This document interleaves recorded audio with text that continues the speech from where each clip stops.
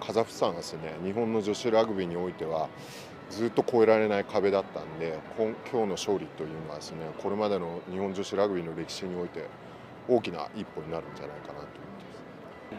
Двумя командами никакой разницы не было. Просто одна команда настроилась очень серьезно, другая чуть-чуть ну, недонастроилась или полет сказался о том, что прилетели мы двумя пересадками. Вот так вот. Или, ну, короче, был слабый настрой. А Япония очень здорово настроилась и сделала игру, как полагается.